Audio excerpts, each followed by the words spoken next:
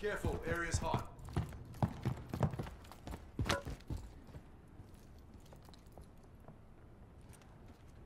Marking shotgun shells.